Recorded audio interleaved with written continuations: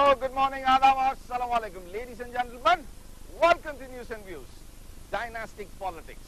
That's an interesting subject.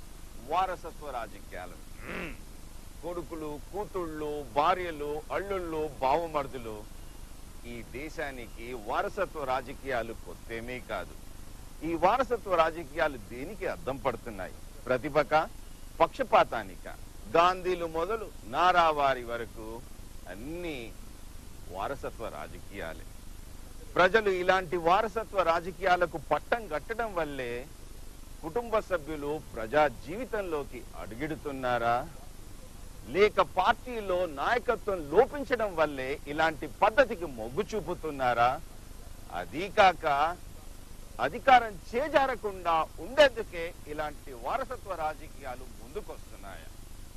Will discuss in the debate on the issue in just two minutes Here are the headlines. Here are the top 10 headlines on Friday morning.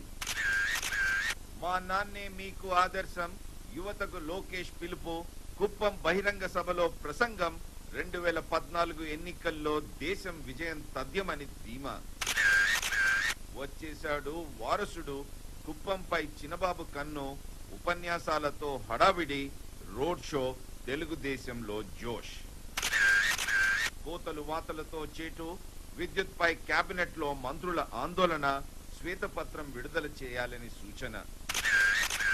ఉగ్రబాధితుల సాయానికి చట్టం మృతుల కుటుంబాల్లో ఒకరికి శాశ్వత అంగవికలులకు ప్రభుత్వ ఉద్యోగాలు. సై అంటే సఫా అవిశ్వాసంపై కాంగ్రెస్ పకడ్బందీ వ్యూహం ధిక్కార ఎమ్మెల్యేలపై వేటుకాయం ఏడాది దాకా పదవులు లేకుండా చేసే ఎత్తుగడ. ఏప్రిల్ చివరిలో స్థానిక సమరం మంత్రిమండలి సూత్రప్రాయ నిర్ణయం. అనువణువు సోదాలు భారీగా పట్టుబడుతున్న నగదు బంగారం గురువారం ఒక్కరోజే ఎనభై లక్షల నగదు స్వాధీనం. రాష్ట్రంలో స్లీపర్ సెల్స్ కీలక సమాచారం అందింది మీడియాతో డీజీపీ దినేష్. దగాపడ్డ పత్తి రైతు రైతులకు పదివేల కోట్ల నష్టం దళారులకు భోజ్యంగా మారిన కేంద్ర నిర్ణయం.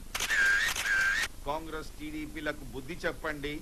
వచ్చే ఎన్నికల్లో ఈ రెండు పార్టీలకు గుణపాఠం నేర్పండి. షర్మిల. చివరిగా ఉద్వాసనే సేవాగ్ విషయంలో సెలెక్టర్లు ఊగిసలాడలేదు. ఉద్వాసనకే మొగ్గు చూపారు. హర్భజన్ మాత్రం బతికిపోయాడు. బ్రాండ్ ఇండియా బ్రాండ్ ఫ్యామిలీ వారసత్వ రాజకీయాలు ఈ దేశంలో ఒక మంచి ఉదాహరణ. కార్పొరేట్ రంగంలో అదే పరిస్థితి. పార్టీల్లోనూ అదే పరిస్థితి. ఓటర్లు ఇంకా భూస్వామ్య భావాజాలంతో అడుగిడడం వల్లే ఇలాంటి వారసత్వ రాజకీయాలు ముందుకు వస్తున్నాయా సారు చిన్నసారు వచ్చాడు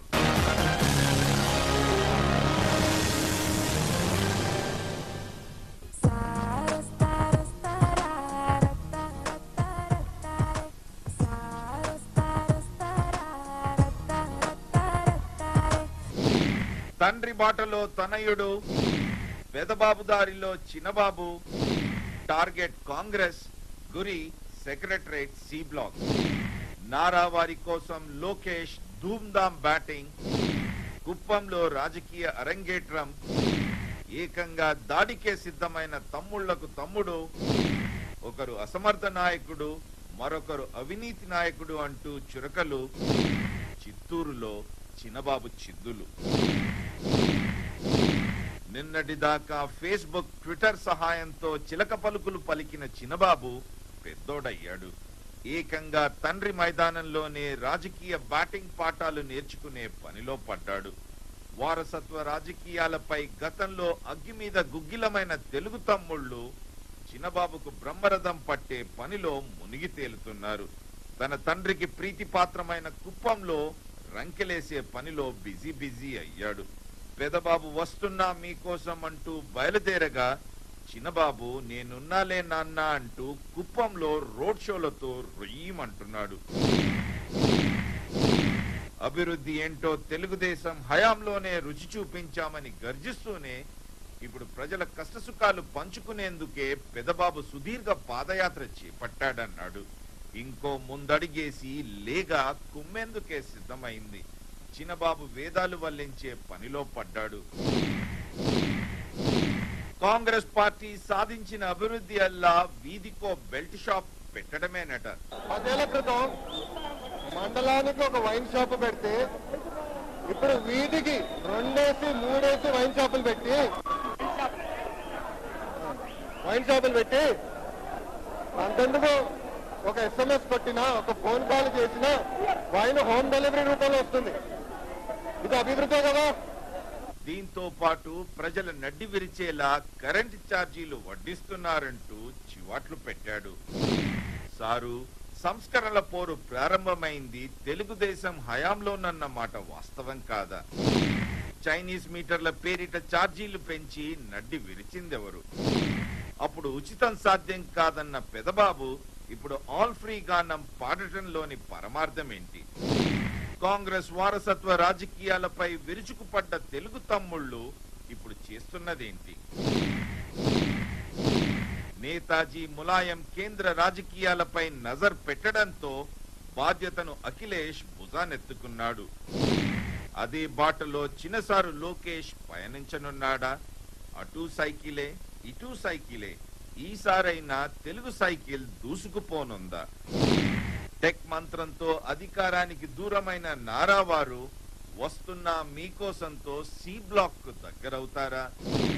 లేక యూపీ అఖిలేష్ బాటలోనే పెదసారును కేంద్ర రాజకీయాలకే పరిమితం చేయించి రాష్ట్ర పార్టీ పగ్గాలు లోకేష్ చేపట్టనున్నాడా? Sir చిన్నసారొచ్చాడు. Dynastic politics that's an interesting subject వారసత్వ రాజకీయాలు సారు చిన్నసారు వచ్చాడు. Let's open up the debate ఈ అంశాన్ని విశ్లేషించడానికి ఈరోజు స్టూడియోలో రాజకీయ విశ్లేషకులు నరేంద్ర రేవల్లి గారు కాంగ్రెస్ పార్టీ తరఫున యువ నాయకులు మల్లెల పాల్గొన తెలుగుదేశం పార్టీ తరఫున రాష్ట్ర కార్యదర్శి పిఎల్ శ్రీనివాస్ గారు వైకాపా శాసనసభ్యులు జి శ్రీకాంత్ రెడ్డి గారు సిద్ధంగా ఉన్నారు. ముందుగా పిఎల్ శ్రీనివాస్ గారు మీతో ప్రారంభిద్దాం. కొడుకులు కూతుళ్ళు బావలు బావమరుదులు రాజకీయాల్లో రావాలని రావద్దని ఎక్కడా రాజ్యాంగంలో రచించబడలేదు. నిన్నటి దాకా కాంగ్రెస్ వారసత్వ రాజకీయ పార్టీ అంటూ వేలెత్తి చూపారు ఇప్పుడు మీ పార్టీలో జరుగుతున్నదే. మా పార్టీలో జరుగుతుంది లోకేష్ వేరే పోర్షన్ ఉండేది. మీరు అనుకున్నట్టు ఒక ముఖ్యమంత్రి కొడుకులు ఇన్వాల్వ్ అయ్యి ప్రభుత్వంలో ఇన్వాల్వ్ అయ్యి దాంట్లో అవినీతి అక్రమాలు దోపిడీకి పాల్పడేటువంటి వ్యక్తి లోకేష్ కాదు. లోకేష్ ఏంటంటే ఒక ముందాగా మంచి చదువుకున్న తర్వాత ఈ రాష్ట్రంలో వారి నాన్నగారు చేసినటువంటి పథకాలే కానివ్వండి ఈ రాష్ట్ర రాష్ట్ర అభివృద్ధి విషయంలో కానివ్వండి తను చేదోడుగా వాదోడుగా ఉండాలనే ఉద్దేశంతోనే బ్యాక్ నుంచి సపోర్ట్ చేయడం జరుగుతూ ఉంది. నగల నగదు బదిలీ పథకమే కానివ్వండి అలాంటివన్నీ కూడా అతను ఉన్నటువంటి ఎక్స్పీరియన్స్ ఒక యువకుడుగా అతని అభిప్రాయాలు చెప్పడం జరిగింది. ఈరోజు ఏంటంటే అరవై మూడు సంవత్సరాల తర్వాత ప్రజలందరూ కూడా రాష్ట్రంలో ఇబ్బంది పాలవుతున్నారు కాబట్టి పాదయాత్రలో నాన్నగారు పాల్గొంటున్నారు కాబట్టి ఈరోజు కుప్పంలో అంటే ఈ రాష్ట్రాన్ని ఏ విధంగా మళ్ళా తెలుగుదేశం పార్టీ అధికారంలో తీసుకొస్తే ఈ ప్రజల బాగోగుల గురించి బాగుంటుందనే ఉద్దేశంతో అభివృద్ధిలో వెనుక వెళ్ళింది కాబట్టి మళ్ళా తెలుగుదేశం పార్టీని అధికారంలో తీసుకురావాలని చెప్పేసి యువత రావడం చాలా సంతోషం అండి. ఏ యువతైనా కూడా మంచి అయితే గతంలో నిన్నటి దాకా గతంలో Mean, కాంగ్రెస్ పార్టీ వారసత్వ రాజకీయ పార్టీ అంటూ మీరే వేలెత్తి చూపారు అంతేకాకుండా Nara Lokesh BSc MBA vice president executive director member of management committee and member of remunerative community heritage foods India private limited. Stanford graduate. ఇక రాజకీయ అరంగేట్రానికే సిద్ధమైన అంటూ భావించాలా ఇప్పుడు అదంతా పర్సనల్ బిజినెస్ అండి అతను బిజినెస్లో హెరిటేజ్లో నేను నిజంగా చెప్పాలంటే మొన్న నేను వన్ అండ్ హాఫ్ అవర్ అతనితో కూర్చొని మాట్లాడడం జరిగింది really I'm very appreciate him. ఆ రోజు నిజంగా చెప్పాలంటే అతను యూనిఫామ్లో ఉన్నాడు. అంటే కార్మికులు ఏ విధంగా అయితే యూనిఫామ్లో ఉంటారో వాళ్ళ ఎంప్లాయీస్ ఏ విధంగా యూనిఫామ్ ఉంటారో హెరిటేజ్ బ్యాచ్ పెట్టుకుని ఆ బ్లూ షర్ట్ వేసుకుని ఆ విధంగా అంటే ఒక ముఖ్యమంత్రి కొడుకుగా కూడా పక్కకి బట్టలు వేసుకున్నాడు బ్లూ షర్ట్ నేను ఇప్పుడు రమాకాంత్ గారు నేను ఏంటంటే అతను డిసిప్లిన్ ఏంటంటే అక్కడ ఒక ఒక ఇండస్ట్రీ నడిపిస్తున్నప్పుడు ఒక మేనేజ్మెంట్లో ఒక ముఖ్యమంత్రి కొడుకుగా ఎప్పుడు బిహేవ్ చేయలేదు. పబ్లిక్ అంతా కూడా తెలుసు ఈ రోజు. ఈ రోజు ఒక ముఖ్యమంత్రి కాదండి సామాన్య ఒక కార్పొరేటర్ కొడుకులు కూడా ఈ రోజు ఏ విధంగా బిహేవ్ చేస్తున్నారో మీరు ఆలోచించండి. ఆయన ముఖ్యమంత్రిగా ఉన్నప్పుడు కూడా దేంట్లో కూడా ఇన్వాల్వ్ కాకుండా సొంత బిజినెస్ కూడా కనబడుతుంది. నిన్నటిదాకా వేలెత్తి చూపారు. ఈ రోజు వారసత్వ రాజకీయాలు వారసత్వం అంటే కుప్పంలో. ఈ రోజు కుప్పంలో ఏంటంటే మా దగ్గర ఇప్పుడు రాజకీయంలో తెలుగుదేశం పార్టీకి ఒక ప్రోగ్రామ్ ఇస్తారండి. ఆ ప్రోగ్రామ్లో పల్లెకు పల్లెకు తెలుగుదేశం అని చెప్పేసి ఒక ప్రోగ్రామ్ ఇచ్చారు. ఆ ప్రోగ్రామ్లో చంద్రబాబు నాయుడు గారు అక్కడ తిరుగుతున్నారు కాబట్టి ఒక కొడుకుగా అక్కడ కుప్పంలో వారికి చేసినటువంటి సేవలు నిజంగా చెప్పాలంటే కుప్పలు వాళ్ళు ఆశీర్వాదం ఇచ్చినప్పుడే చంద్రబాబు నాయుడు ముఖ్యమంత్రి అయ్యారు. అదేవిధంగా ఎమ్మెల్యేస్ రెగ్యులర్గా ఎన్నుకుంటున్నారు. ఆ ప్రజల దగ్గరికి ఒక కొడుకుగా కుప్పంలో వెళ్ళి పాదయాత్ర చేసి మళ్ళా మీరందరూ కూడా తెలుగుదేశం పార్టీకి అధికారం తేవడానికి మరి ముందుకు రావాలే. ఈ రోజు నాన్నగారు ఇక్కడ నూట యాభై కోట్ల రూపాయలు ఖర్చు పెట్టేసి ఇక్కడ ఆ కుప్పంను అభివృద్ధి చేశాడని చెప్పడంలో తప్పేముందండి? అదే కాకుండా నేను నేను అప్పీల్ చేస్తా ఉన్నాను. ఇంకా లోకేష్ గారు దూసుకొని నేను- వస్తే వాడ. వాడ వీధి వీధి దూసుకొని వస్తే మాలాంటి వాళ్ళందరూ కూడా సపోర్ట్ చేస్తారు. యువకులు మంచి వాళ్ళు ఎవరు నా- విశ్లేషణలో టార్గెట్ కాంగ్రెస్ గురి సి బ్లాక్. ఇప్పుడు కాంగ్రెస్ గురి అంటే కాంగ్రెసే కదండి దేశాన్ని రాష్ట్రాన్ని భ్రష్టు పట్టించినటువంటి కాంగ్రెస్ను ఈ రోజు యువత లోకేషే కాదండి ఏ యువత అయినా కూడా ఈ రోజు ముందుకు రావాలి. మన దేశ భవిష్యత్తును నిజంగా బాగు చేయాలంటే ఈ రోజు యువత తప్ప ఇంక ఎవరు చేయలేరు. ఎందుకంటే ఆ యువతనే ముందుకు వస్తే ఈ దేశ యువత అంటే మళ్ళా యువత కూడా అవినీతి అక్రమాలు దోపిడీలు చేసేందుకు రాకూడదండి ఆ. యువత మంచి పట్టుదలతో మంచి పేరు గురించి మంచి రాష్ట్రాన్ని దేశాన్ని అభివృద్ధి చేయడానికి గురించి ప్రజలకు సేవ చేయడానికి వస్తే బాగుంటుంది తప్ప ఈ రాష్ట్రాన్ని దేశాన్ని లూటీ చేసేసి ఏదో అధికారం గురించి. అన్ని మనమే అనుకుంటే చాలా తప్పు ఈ శ్రీ- రోజు శ్రీనివాస్ గారు మంచి పరిణామం సంస్కరణలతో ఉదరగొట్టింది ఎవరు చైనీస్ మీటర్లు పెట్టి మమ్మ నడ్డి విరిచింది ఎవరు ఈ మధ్యాహ్న నిషేధాన్ని ఎత్తివేసింది ఎవరు నిషేధాన్ని ఎత్తివేసినా ఏం చేసినా రాష్ట్ర ప్రజల గురించి ఉచితంగా అని చెప్పింది ఎవరు?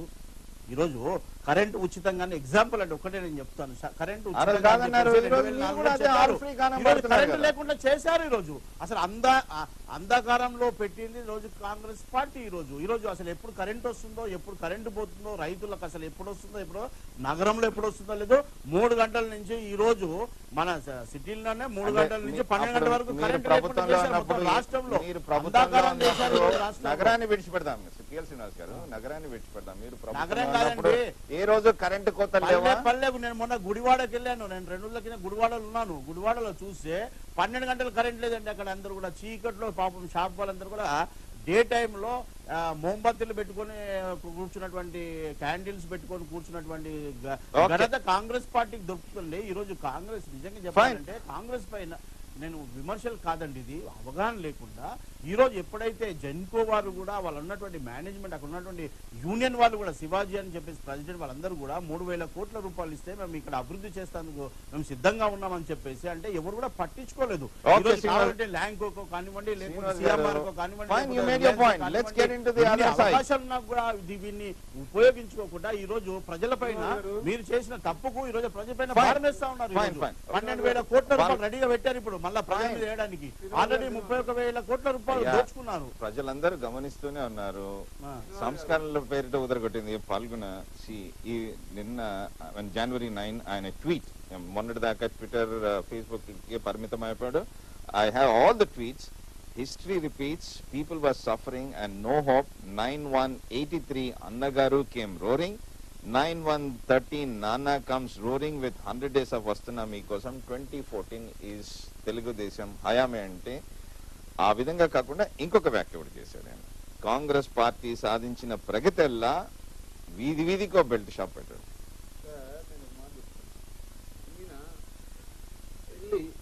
మన యూనివర్సిటీకి వెళ్ళి అబ్రాడ్ పోయి డొనేషన్ ఇచ్చి అది కూడా సత్యం రామలింగరాజు గారు డొనేషన్ ఇస్తే ఈయన చదివిన పరిస్థితి ఇది. ఈయన ఏదో మెరిట్ స్టూడెంట్ కాదు. ఇప్పుడు ఈ విధంగా మెరిట్ తోడు కూడా రాలేదు ఏదో దాంట్లో- తప్పేంటి? అది వాళ్ళు నానిస్తే ఇబ్బంది కదండి. ఇప్పుడు ఎవరు నాని ఎవరు వాళ్ళు ఇచ్చుకుంటే తప్పలేదు నాకు ప్రతిభ ఉంది. ఎవరో నన్ను స్పాన్సర్ చేశారు. అంటే నేను చదువుకోకుండా ఉండాలా? అలా కాదండి. ఇప్పుడు యాక్చువల్గా స్పాన్సర్ చేయడంలో కూడా సొంతంగా చేస్తే పర్లేదు. ఎవరు సత్యనారాయణ చేస్తే ఆయన వంద మంది చేస్తారు. అంటే ఎక్కడ మీరు? ట్రైంగ్ టు డ్రైవ్ అట్ ఒక్క మాట ఒక్క మాట. డబ్బులు ఉన్న వాళ్ళకి చేయడం కదండి స్పాన్సర్షిప్ అంటే. అది లాబింగ్ అవుతుంది. డబ్బులు లేని వాళ్ళ స్పాన్సర్షిప్ చేస్తే అది పద్ధతి ఉంటుంది. ఎవరికైనా సరే. అదే విధంగా ఇప్పుడు కూడా ఆటోమేటిక్గా డొనేషన్ లాగానే ఈయన ఆటోమేటిక్గా షార్ట్ రూట్లో వచ్చి నేను వారసత్వం అంటున్నాడు. ఇంతకుముందు సీనియర్ నాయకులు లేరా? శ్రీనివాస్ శ్రీనివాస్ గారు లాంటి పొలిటీషియన్స్ లేరా? సీనియర్ లేరా? టీడీపీలో ఎవరు లేరా? మంచి పొజిషన్ ఇవ్వచ్చు కదా. ఇవ్వ ఇవ్వకుండా ఈయన అందరికి వచ్చేసి స్టార్ట్గా నేను ఈ రోజు అంటాడు. ఆయన అంటే ఇప్పుడు ఒకటి ఈయన కన్నా వాళ్ళ కుటుంబంలోనే సరే వాళ్ళ కుటుంబానికి పోదాం. వాళ్ళ కుటుంబంలో చాలా మంది ఉన్నారు సీనియర్. ఈయనకన్నా పాపం బాలకృష్ణ గారు ఆయన అక్కడ ఆయన అక్కడ కూర్చోబెట్టి ఈయన వచ్చాడు అది వేరే విషయం. హరికృష్ణ గారు ఎప్పటి నుంచో ట్రై చేస్తున్నారు. చిన్న రామారావు గారు చిన్న రామారావు గారు చిన్న రామారావు గారు ఉన్నారు. ఎవరు ఆయన? ఇంకొక ఆయన ఇండియా ఆయన్ని పక్కన పెట్టారు. వీళ్ళందరిని పక్కన పెట్టి చంద్రబాబు నాయుడు గారు ఎలాగైతే షార్ట్ రూట్లో కుర్చీ లాగేసుకుని కూర్చు కూర్చున్నారు అదే విధంగా ఈయన కూడా వచ్చి కూర్చున్నారు అంతే తప్ప కూర్చోడానికి ట్రై చేస్తున్నారు. ఈయన కాంగ్రెస్ పార్టీని ఏదెత్తి చూపించే అర్హత ఆయనకి కానీ వాళ్ళ నాన్నకి కానీ ఎక్కడా కూడా లేదండి. ఎందుకంటే ఉచిత విద్యుత్ ఇచ్చినా ఉచిత ఇది ఇచ్చినా ఏది బియ్యం ఇచ్చినా వన్ రూపీ బియ్యం ఇచ్చినా అంతా కూడా కాంగ్రెస్ పార్టీకి వెళ్ళింది ఈయన టోటల్గా ఉచిత కరెంటు ఎత్తేసాడు ఉచిత బియ్యాన్ని ఎత్తేసాడు అన్ని ఎత్తేసుకుంటూ వచ్చాడు. సబ్సిడీలు అన్ని కుదరదన్నాడు. అదేమంటే నాణ్యమైన అన్ని ఇస్తే సరిపోతుంది ప్రజలకు అన్నాడు తర్వాత ఇప్పుడేమన్నాడు ప్రతి ఊరికి ఒక ఇది మీకు ఇది చేస్తాం ఇది చేస్తాం అనుకుంటూ వెళ్తున్నాడు ఇంకో విషయం చెప్పంటారా ఈయన ప్రస్తుతం ఇప్పుడు పాదయాత్ర చేస్తానికి కారణం చెప్తాను ఇంతకు ముందు ఒక మినిస్టర్ గానీ ఎవరైనా ఎక్స్ ఎమ్మెల్యే గానీ ఎక్స్ సీఎం గానీ ఉంటే వచ్చి కలుస్తారు జనాలు ఇప్పుడు ఈయన ఇంటికి ఉన్న ఇంటి దగ్గర కూర్చుంటే కలిసేవాళ్ళు లేరు. అందుకని ఈయన జనాల దగ్గరికి పోయాడు అనమాట ప్రస్తుత పరిస్థితి అది ఓకే ఇంకేం లేదు అందుకని అదే Srikanth Reddy garu another tweet December ten YSRCP and Sakshi questioning TDP what a joke why did Jaganmohan Reddy vote for Pranab as president and abstain from voting against FDA Pranab ముఖర్జీకి ఓటేశారు FDI చర్చలో మాత్రం బయటపడ్డారు అన్న విధంగా ఆయన వ్యాఖ్య చేశారు. ఏ విధంగా చూడమంటారు?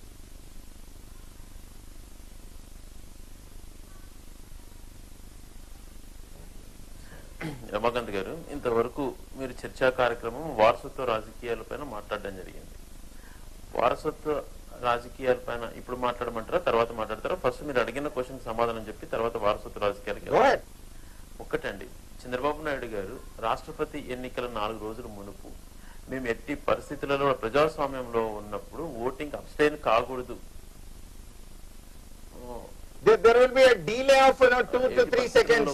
మనము ఓటింగ్లో పాల్గొ ఆ, ఓటింగ్లో పాల్గొనాలి. ప్రజాస్వామ్యంలో అందరి హక్కు అని చెప్పిన మాట వాస్తవమా? కాదా? దాని తర్వాత తన యొక్క రాజకీయ ప్రయోజనాల కోసము నిమిషానికి ఒక మాట మాట్లాడే అలవాటు ఉన్నటువంటి చంద్రబాబు నాయుడు గారు ఆ- ఆ ఓటింగ్ ఎందుకు అప్సైన్ అయినారో తెలియదు. మేము ముందు నుంచి కూడా చెప్తున్నాం. ప్రజాస్వామ్యంలో ఉన్న వ్యక్తులము ఒక రాష్ట్రంలో అత్యున్నతమైనటువంటి వ్యక్తిని ఎన్నుకునే మునుపు మనం ఖచ్చితంగా కూడా అలా ఓటింగ్లో పాల్గొనాలనే దానిపైన పార్టీ నిర్ణయించింది. నిర్ణయించినప్పుడు రెండు పార్టీలు భేదీ చేసుకున్నారు. ఇద్దరు నాయకులు సంగ్మా గారు ఒక పక్క ప్రణబ్ ముఖర్జీ ఒక పక్క.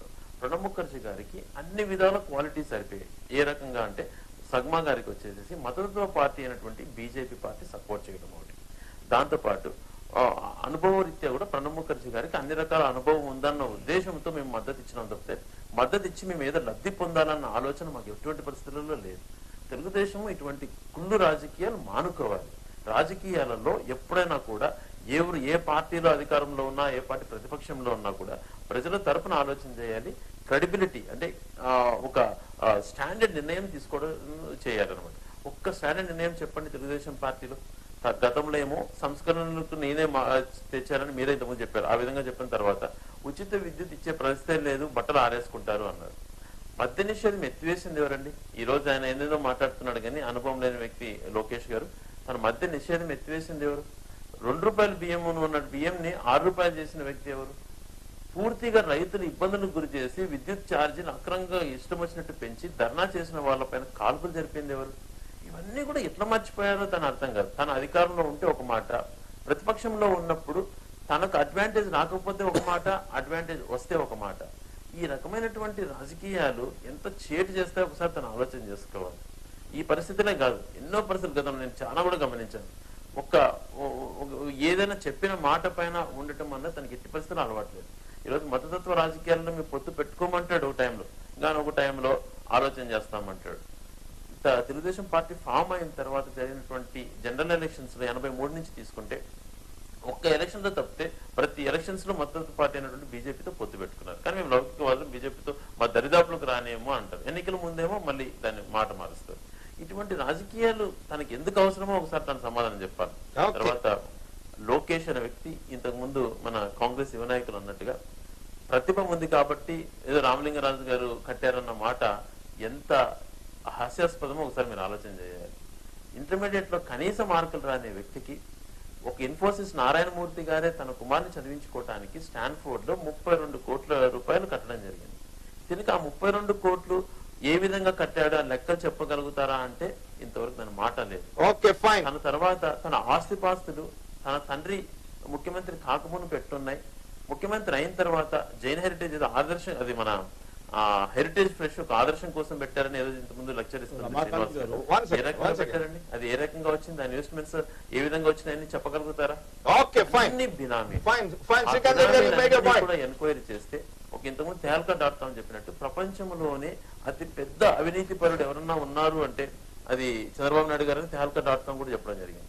ఇన్ని రకాలమైనటువంటి అవినీతిలో పాల్గొన్న వ్యక్తి ఏ రకంగా చెప్తాడండి? తను. నిజాయితీగా ఉన్నట్టు రాజకీయాలు ఇంప్లిమెంట్ చేస్తానని ఏ రకంగా చెప్తాడు? ఎవరు నమ్ముతారండి. Okay. Srikanth Reddy garu there will be audio delay of almost about two to three seconds మీకు డౌన్ లింక్ ఇచ్చాము. సో మీకు ఒకవేళ వీలు కాకపోతే ఇయర్ పీస్ తీసేయండి. When comfortable then you can you know put it on Narendra రేవళి ఏ విధంగా చూడమంటారు. వారసత్వ రాజకీయాలు ఈ విధంగా ప్రజలు ఇలాంటి ఓకే. Sir thank you. ఇలాంటి పద్ధతికి మొగ్గు చూపడం వల్లనే నాయకులు ముందుకొస్తున్నారా? లేక సెకండ్ రంగ్ ఆఫ్ లీడర్షిప్ పార్టీలో ఎదగకపోవడం వల్ల ఇలాంటి నాయకులు ముందుకొస్తున్నారా? ఒకటి దాంట్లో నాయకత్వ లక్షణాలు లోపించాయా మిగతా వారిలో? అంటే అది debatable point first first place కాకపోతే ఒక్క విషయం మాత్రం వాస్తవం. అది ఇందిరాగాంధీ గారి దగ్గర నుంచి జగన్ వరకు సింధియాలు ఇంకా చాలా మంది ఉన్నారు మధ్యలో. ఉన్నారు కరుణానిధులు ఉన్నారు, ఉన్నారు అఖిలేష్ యాదవ్ ఉన్నారు అఖిలేష్ యాదవ్లు ఉన్నారు చాలా మంది ఉన్నారు. వారసత్వ రాజకీయాలు అనేవి ఇప్పుడు ప్రస్తుత భారత రాజకీయాల్లో ఒక చేదు వాస్తవం. అది అందరూ వాటికి పాల్పడుతున్నారు అందరూ ఎంకరేజ్ చేస్తున్నారు. దురదృష్టవశాత్తు మరో గత్యంతరం లేక ప్రజలు కూడా ఏదో ఒక దశలో దాన్ని ఆమోదిస్తున్నారు.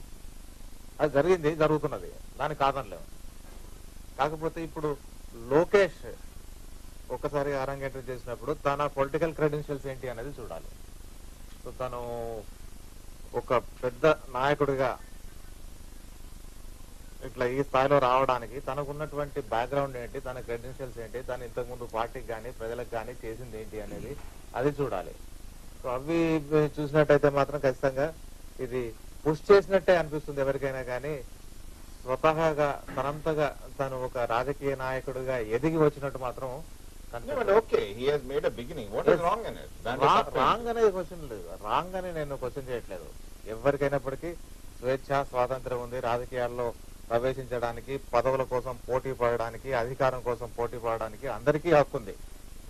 కాకపోతే ఏంటంటే ఇది స్వాభావికంగా ఒకటి, న్యాచురల్గా వచ్చిందా లేకుంటే పుష్ చేస్తున్నారా? పెడిగ్రీ. అంటే కుటుంబ నేపథ్యం అనేది డామినెంట్ రోల్ ప్లే చేస్తుందా? లేకుంటే తన నాయకత్వ లక్షణాలతోనే తను ఈ స్థాయికి చేరుకునేటువంటి ప్రయత్నం అదొకటే ఒకటి. నరేన్ ప్రజలు ఇలాంటి వారసత్వ రాజకీయాలకు కట్టడం వల్లనే పార్టీల్లో సెకండ్ రంగ్ ఆఫ్ లీడర్షిప్ ఎదగడలేకపోతుందంటూ భావించాలా? లేకపోతే లేదండి మేము ఇలాంటి కుటుంబ సభ్యుడే మాకు నాయకుడు కావాలి. ఆయన మీద ఉన్న గౌరవం ఆయన మీద ఉన్న ప్రేమ అభిమానంతోనే ప్రజలు ఇలాంటి వాళ్ళకి ఓట్లు లేవు వేస్తున్నారంటూ అనుకోవాలి. సో ఒక విధంగా అక్కడ ప్రత్యామ్నాయం అనేది కనిపించకపోవడం దానికి కారణం అయి ఉండొచ్చు. ప్రజలు కూడా ఓకే ఎవరైనా ఏదైనా చేయగలిగే సత్తా ఉన్నవాడికో లేకుంటే చేయగలిగే అవకాశం ఉన్నవాడికో అవకాశ యుద్ధం అనే భావించేటువంటి అవకాశం ఇప్పుడు చాలా మందిలో ఉంది. ఎందుకంటే దాని వైపు మొగ్గు చూపేటువంటి పరిస్థితులు వచ్చాయి.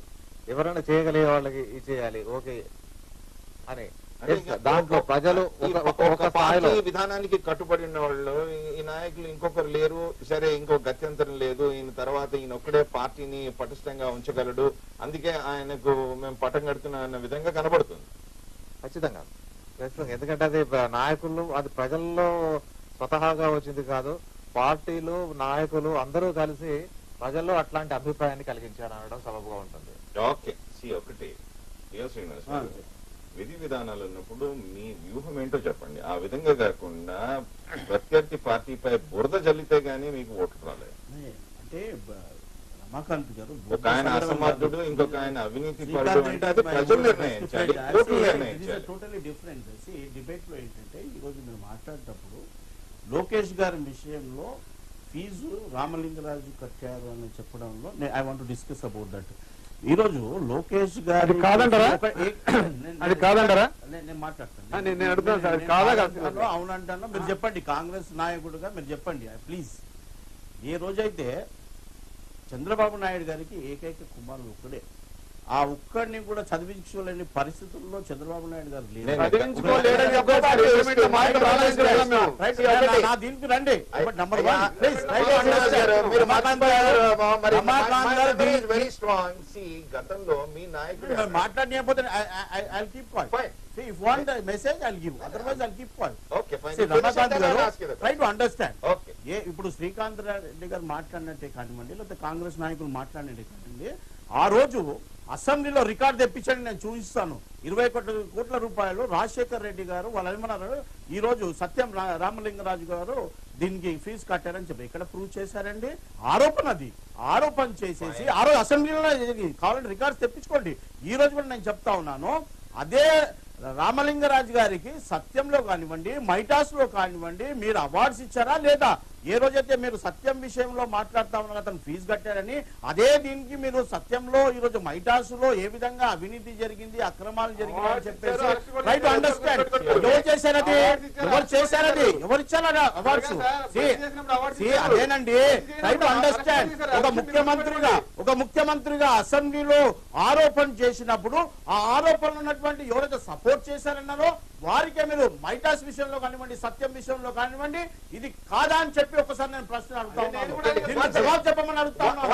ఏదో లేకుండా ఆరోపణ చేసేసి ఆరోపణలు రుజువు చేయకుండా నేను one ఈ రోజు మీరు చంద్రబాబు నాయుడు గారికి ఫీజు చంద్రబాబు నాయుడు గారు ఏమి.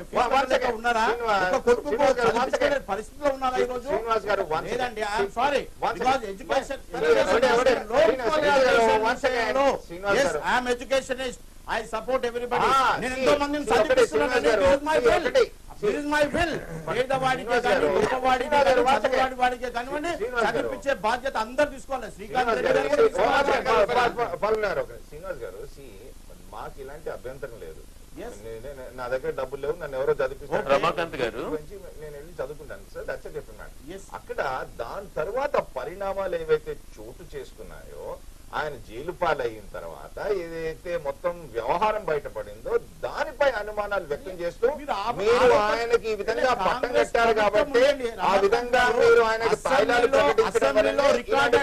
రికార్డెడ్ తెప్పించుకొని చూడండి ఆ రోజు మినిట్స్ అన్ని ఇస్ రికార్డెడ్ ఇరవై కోట్ల రూపాయలు ఫీజు కట్టారని చెప్పేసి కాంగ్రెస్ ప్రభుత్వం అధికారంలో ఉన్నప్పుడు అసెంబ్లీలో ఆరోపణ చేస్తే ఆ ఆరోపణ నిరూపించకుండా దమ్ము లేకుండా సత్తా లేకుండా ఈ రోజు మళ్ళా దాన్ని తీసుకొచ్చేసి మళ్ళా ఆరోపణ. తీసుకురావడము ఎంత దారుణం ఈ రోజు. నిజంగా రమాకాంత్ గారు, రమాకాంత్ గారు. ఆరోపణలు వద్దండి నేను ఒకటి అప్పీల్ చేస్తున్నారు ఈ రోజు కష్ట పరిస్థితుల్లో ఈ రోజు హైదరాబాద్లో పబ్లిక్ రాలేని పరిస్థితులు ఉన్నారు సీఎం గారు ఏం చేస్తున్నారు కాంగ్రెస్ గురించి మాట్లాడుతున్నారు. ఈ రోజు సీఎం గారు పోలీసుల మీద దుమ్మేసిపోతున్నారు మీరు అందరిని పిలిపించి wait. అఖిలపక్ష మీటింగ్ పెట్టి. మీరు ఒక స్లోగన్. ఇవ్వలేకపోతున్నారు అంటే ధైర్యం చెప్పలేకపోతున్నారు అంటే ముఖ్యమంత్రి.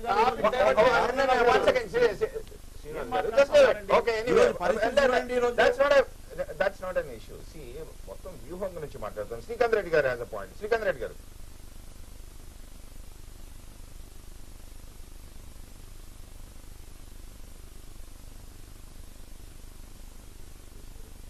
Audio dealer చెప్పండి Ramakanth Ramakanth garu. You wanted to raise a point go head sir వారసత్వ రాజకీయాలు పైన మనం మాట్లాడుతున్నటువంటి సబ్జెక్ట్. అనేక అంశాలు గతం అంటే ఇప్పుడు శ్రీనివాస్ గారు ఒకదాని సబ్జెక్ట్ నుంచి ఒకదాని సారీ మీరు చెప్పారు కాబట్టి మీరు కాదు అక్కడ చెప్పారండి ఫీజు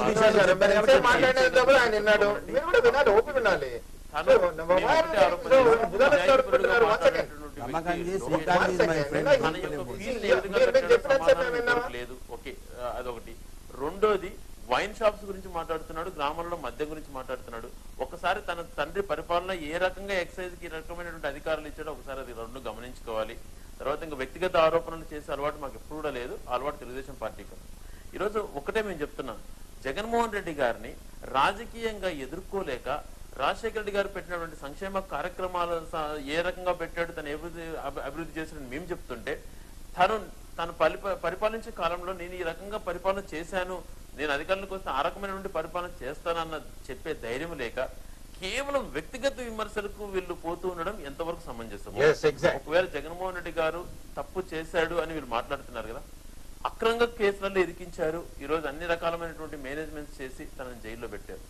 స్టిల్ రాజశేఖర్ గారు చనిపోయి మూడు సంవత్సరాలైనా వ్యక్తిగత విమర్శలు ఆయన పైనే చేస్తున్నారు. ఇప్పుడు లోకేష్ గారు తీసుకోండి ఇంకోరు తీసుకోండి టార్గెట్ కాంగ్రెస్ అని మీరు చెప్పారు కానీ కాంగ్రెస్ టార్గెట్ కానే కాదు వాళ్ళకి. వాళ్ళ టార్గెట్ రాజశేఖర రెడ్డి గారు.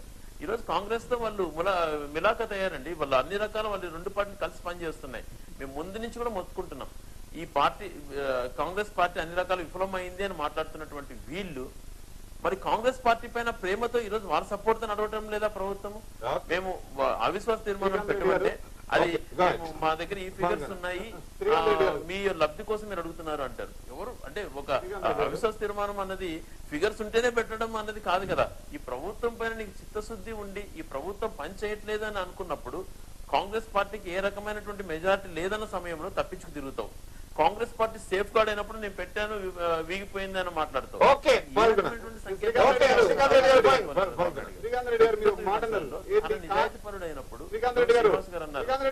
చంద్రబాబు నాయుడు ఏదో అది అన్నట్టు.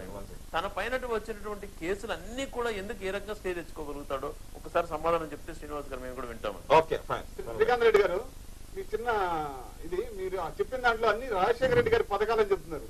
సారీ అండి నేను దీన్ని హండ్రెడ్ పర్సెంట్ అబ్జెక్ట్ చేస్తున్నాను. ఇది మొత్తం కాంగ్రెస్ పార్టీ పథకాలు. అంటే కాంగ్రెస్ రాజశేఖర రెడ్డి మీ నాయకుడు కాదా మీరు రాజశేఖర రెడ్డి మీ నాయకుడు కాదా స్పష్టం చేయండి టేక్ స్టాండ్ వెదర్ రాజకీయ రాజశేఖర రెడ్డి గారు మీ నాయకుడుగా కాదా టేక్ స్టాండ్ ఆయన నుంచి నా వరకు ఇంకా లోయర్ క్యాడర్ వరకు అందరూ కూడా కాంగ్రెస్ పార్టీ వాళ్ళే గుర్తుపెట్టుకుని కాంగ్రెస్ పార్టీ సభ్యులే. కాంగ్రెస్ పార్టీ విధి విధానాలు అన్నప్పుడు ఒక రాజశేఖర రెడ్డి గారు ఏదైతే అమల్లోకి తీసుకొచ్చారో అంటే రాజశేఖర రెడ్డి గారు మీ నాయకుడు కదా? శ్రీకాంత్ రెడ్డి గారు ఏం చెప్తున్నారు? రాజశేఖర రెడ్డి గారు కాదండి కాంగ్రెస్ పార్టీ గుర్తుపెట్టుకోండి. ఈ కాంగ్రెస్ పార్టీ చే- కాంగ్రెస్ పార్టీ ఆయన మీ- నాయకుడిగా లేదా. మీరు ఒప్పుకున్నారు కదా ఆయన మీ నాయకుడిగా?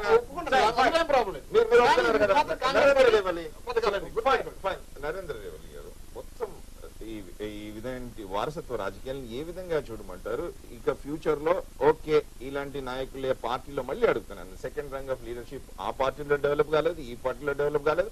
ఒకవేళ second rung of leadership develop అయినా కానీ మాకు ఎసరు ఎక్కడ ఉంటుందో అన్న విధంగా కొడుకులను కూతుళ్ళను అల్లులను బావమరుదులను వీళ్ళందరినీ తెరపైకి తీసుకొస్తున్నారు.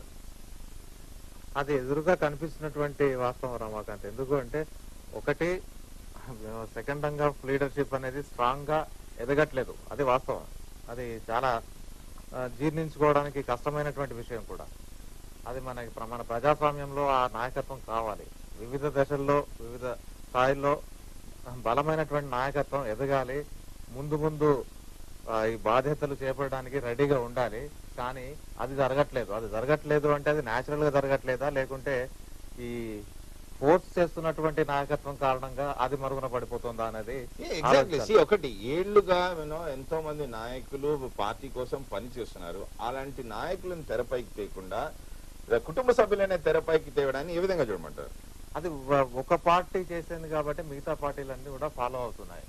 నిజానికి ఎన్ని సంవత్సరాలు ఎన్ని దశాబ్దాల చరిత్ర ఉన్నటువంటి పార్టీలు కూడా వాళ్ళు ఆ నాయకత్వ లక్షణాలకి ఈ సీనియారిటీకి పార్టీకి చేసినటువంటి సేవలని వాటన్నిటిని పక్కన పెట్టేసేసి కుటుంబ నేపథ్యాన్ని తీసుకొని ఆ పెడిగ్రీని తీసుకొని ఒక్కసారిగా ఈ యువ నాయకులకు సోకాళ్ళు యువ నాయకులకి పట్టం కడుతున్నాయి అందరం ఎక్కిస్తున్నాయని చూసినప్పుడు. మిగతా పార్టీలు అన్ని కూడా అన్ని ఫాలో అవుతున్నాయి. మేం కాదు కదా అందరూ అదే ఫాలో అవుతున్నారు. మనకేంటి అన్న ఆ ధోరణి మనకి ప్రతి పార్టీలోనూ కనిపిస్తుంది. ఒక జాతీయ స్థాయిలోనే కాదు మండల స్థాయి వరకు కూడా మనకు ఇదే పరిస్థితి కనిపిస్తున్నది. ఓకే. ఓకే. సారు చిన్న సారు వచ్చాడు. ప్రజలు ఆదరిస్తారా? అరే స్టే విషయంలో అడిగారు చెప్పదా వేచి చూడాల్సింది. Tomorrow good day and goodbye